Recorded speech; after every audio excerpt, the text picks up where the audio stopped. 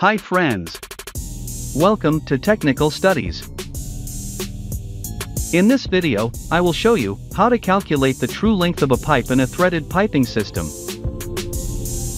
To calculate the true length of a threaded pipe, we need to know four things. The travel length,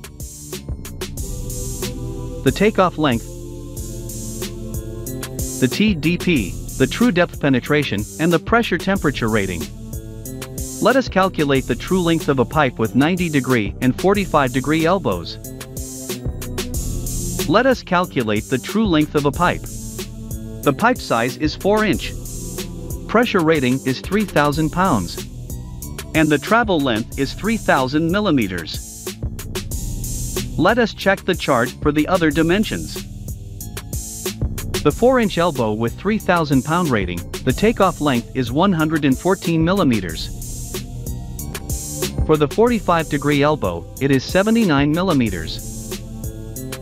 The TDP length for both elbows is 27.7 millimeters, let us round it T28 millimeters.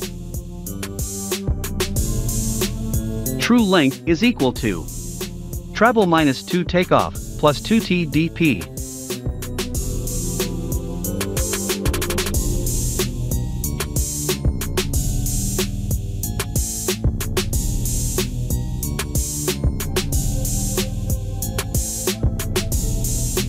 Let us calculate.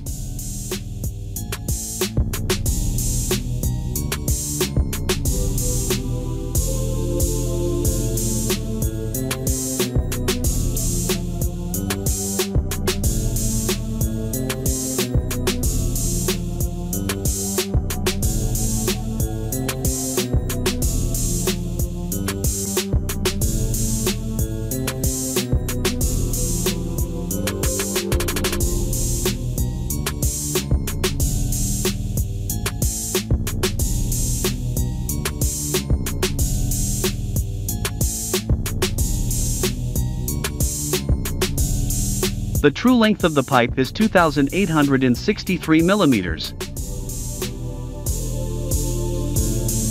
Thank you for watching. Good day.